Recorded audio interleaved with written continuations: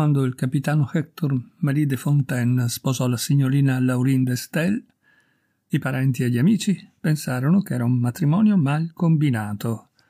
La signorina Laurine, graziosa, sottile, fragile, bionda e ardita, aveva sin dall'età di dodici anni la sicurezza di una donna di trenta.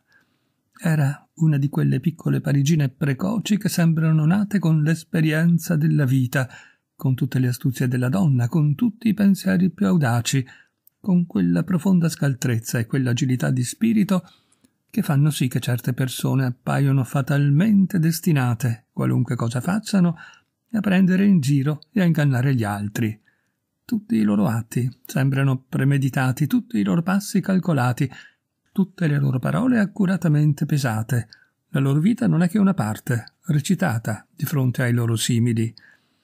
Era anche bella, sempre in vena di ridere, tanto da non sapersi trattenere né mitigare quando una cosa le pareva divertente e buffa. Rideva sul naso delle persone nel modo più imprudente, ma con tanta grazia che nessuno mai se ne offendeva. Era ricca, molto ricca. Un prete fece da intermediario per farlo sposare il capitano de Fontaine. Educato in una famiglia religiosa nel modo più austero, quest'ufficiale aveva portato nel reggimento abitudini da chiostro, principi rigidissimi e un'assoluta intolleranza. Era uno di quegli uomini che diventavano infallibilmente o santi o nichilisti, in cui le idee sono padrone assolute, la cui fedeltà è inflessibile e le decisioni irrevocabili. Era un giovane alto, bruno, serio, severo, ingenuo, di mente semplice, ristretta e ostinata, uno di quegli uomini che passano nella vita senza mai comprendere quello che c'è sotto la superficie, le sfumature, le sottigliezze, che non indovinano nulla, non sospettano nulla e non ammettono che si pensi, si giudichi, si creda e si agisca diversamente da loro. La signorina Laurin lo vide, comprese subito il suo carattere e lo accettò per marito. Fu un ottimo matrimonio. Lei fu abile, accorta e saggia, perché seppe mostrarsi come doveva essere, sempre pronta a far opere buone e a partecipare alle feste, assidua in chiesa come a teatro, mondana e austera, con una lieve aria di ironia, con una piccola luce negli occhi quando parlava gravemente col suo grave sposo gli raccontava le sue opere benefiche con tutti gli abati della parrocchia e dei dintorni e approfittava di quelle misericordiose occupazioni per star fuori di casa dalla mattina alla sera. Ma qualche volta, sul più bello del racconto di qualche atto caritatevole, era assalita improvvisamente da un riso folle, un riso nervoso, impossibile a reprimere. Il capitano rimaneva sorpreso, inquieto, un po' offeso dinanzi alla moglie soffocata dalle risa quando si calmava un po', egli le domandava Ma che hai, Laurin? La moglie rispondeva Nulla. M'è tornata in mente una curiosa faccenda che m'è capitata e raccontava una storia qualunque. Nell'estate del 1883 il capitano de Fontaine prese parte a una delle grandi manovre del 32 Corpo d'Armata. Una sera, essendo accampati nelle vicinanze d'una città, dopo dieci giorni di tenda e di manovre, dieci giorni di fatica e di privazioni, i camerati del capitano decisero di fare un buon pranzo.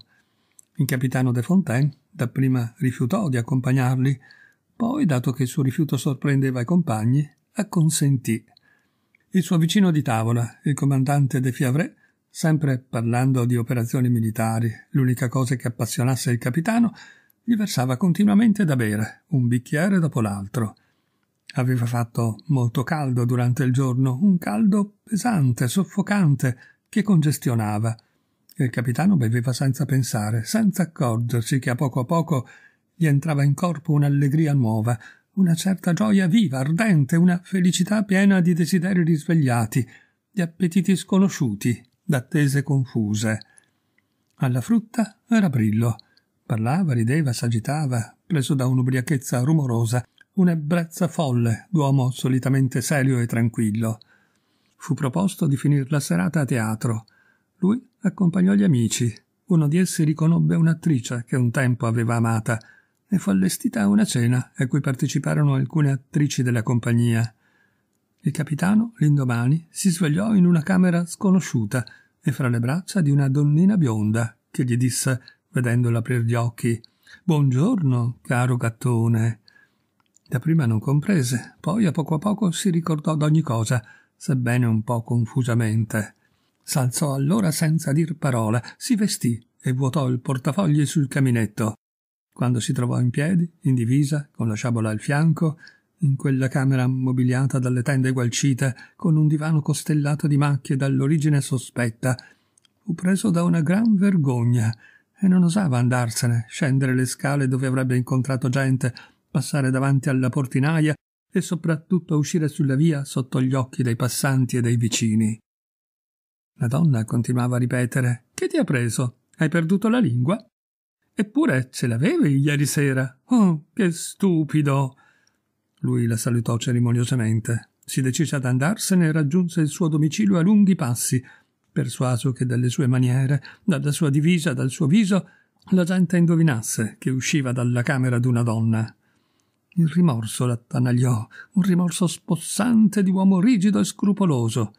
Si confessò, si comunicò, ma si sentiva a disagio, seguito sempre dal ricordo della sua colpa e dal pensiero d'un debito sacro contratto verso la moglie. Non la rivide che dopo un mese, poiché lei aveva passato presso i genitori il tempo delle manovre. Laurin gli andò incontro a braccia aperte e il sorriso sulle labbra. Il capitano la ricevette con un'aria impacciata di colpevole e fino a sera cercò di non parlarle. Quando si trovarono soli, lei gli chiese Che hai, caro? Ti trovo molto cambiato. Con tono impacciato rispose Non ho niente, cara, proprio niente. Scusa, ti conosco bene e sono sicura che hai qualcosa. Una preoccupazione, un dispiacere, una seccatura, che so io. Ebbene sì, ho una preoccupazione. Ah, quale? Mi è impossibile dirtela. A me? Perché? Mi metti in agitazione. Non ho nessuna ragione da darti, ma è impossibile dirtela. Lei s'era seduta su un piccolo divano a due posti e lui passeggiava in lungo e in largo, con le mani dietro la schiena, evitando di incontrare lo sguardo della moglie. Lei riprese Via, bisogna che ti faccia confessare. È mio dovere. E devo esigere da te la verità. È un mio diritto. Non puoi avere segreti per me, come non posso averne io per te. Il marito, vicino all'altra finestra e sempre voltandole le spalle, rispose Cara, ci sono cose che è meglio non dire. Quella che mi tormenta è di questa specie. Laurin s'alzò, attraversò la camera, lo prese per le braccia e, obbligandolo a voltarsi, gli posò le mani sulle spalle. Poi, sorridente, carezzevole, con gli occhi alzati, disse Su, Marie. Nei momenti di tenerezza lei lo chiamava Marie. Non puoi nascondermi nulla. Potrei credere che tu abbia fatto qualcosa di male. Lui mormorò Ho fatto una cosa bruttissima. La moglie replicò gaiamente Oh, tanto brutta, mi sorprende molto. Il marito rispose con decisione Non ti dirò nulla, è inutile insistere. Ma Laurin lo trasse vicino alla poltrona, lo obbligò a sedersi, si sedette anche lei sulla sua destra e baciandogli con un bacio lieve, fuggevole, alato, la punta arricciata dei baffi, riprese Se non mi dici nulla, saremo per sempre in collera. Egli, straziato dal rimorso e oppresso dall'angoscia, mormorò Se ti dicessi quello che ho fatto, non mi perdoneresti mai. Tutt'altro, caro, ti perdonerei subito. No, è impossibile. Te lo prometto. Ti dico che è impossibile. Giuro di perdonarti. No, caro Laurin, non lo potresti. Sei ingenuo, caro, per non dire sciocco. Rifiutando di dirmi ciò che hai fatto, mi lasceresti credere cose orribili, e io ci penserei sempre, e mi irriterei del tuo silenzio, quanto del tuo misfatto sconosciuto. Mentre, se tu parlassi schiattamente, domani me ne sarei bella e scordata. E che... che? Il capitano arrossì fino alle orecchie e con voce grave mi confesso a te come mi confesserei a un prete, Laurin. Sulle labbra di lei passò quel rapido sorriso che aveva spesso ascoltando, e con un tono un po' burlesco. Sono tutto orecchi. Lui riprese. Tu sai, cara, che sono astemio. Non bevo che acqua appena colorata, e mai liquori, lo sai. Sì, lo so. Ebbene, pensa che, verso la fine delle grandi manovre, mi sono lasciato andare a bere un po' una sera, trovandomi accaldato, stanchissimo e Ti sei ubriacato? Perbacco, che vergogna! Sì, mi sono ubriacato. Lei aveva assunto un'aria severa, ma ubriaco interamente, confessa, ubriaco da non poter camminare. Di. Oh, no, così. Avevo perso la ragione, ma non l'equilibrio. Parlavo, ridevo, ero come pazzo. E gli tacque, e allora la moglie chiese: È tutto qui? No. Ah, e dopo? Dopo ho commesso un'infamia. Laurin lo guardò inquieta, un po' turbata, commossa anche. Che cosa, caro? Abbiamo cenato con, con alcuni amici e non so come è avvenuto. Ti ho tradito, Laurin. Lui aveva detto questo in tono grave, solenne. Lei si scosse e il suo occhio si illuminò d'una improvvisa allegria, d'un'allegria profonda, irresistibile. Disse: Tu, tu mi hai. E un riso secco, nervoso, rotto, le troncò per tre volte la parola.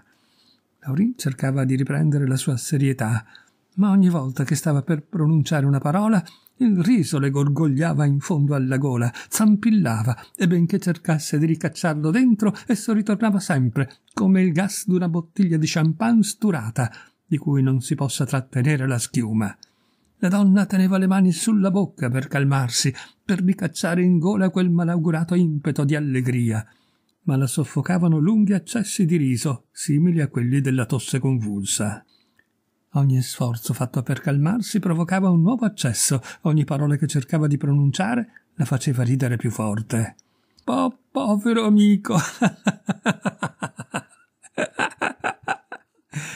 Il marito si alzò lasciandola sola sulla poltrona e diventando improvvisamente pallidissimo disse Laurin, sei indecente. E lei, balbettando in un delirio d'allegria. Che. Che vuoi? Io. io. non posso. Co, co, come sei buffo. Lui, fattosi livido, la guardava adesso con occhi fissi, in cui si destava un pensiero strano. D'un tratto aprì la bocca per gridare qualcosa, ma non disse niente. Girò sui tacchi e uscì, sbattendo la porta. Laurin, piegata in due, sfinita, prossima a svenire, rideva ancora d'un riso morente, che si rianimava a tratti come la fiamma d'un incendio quasi spento.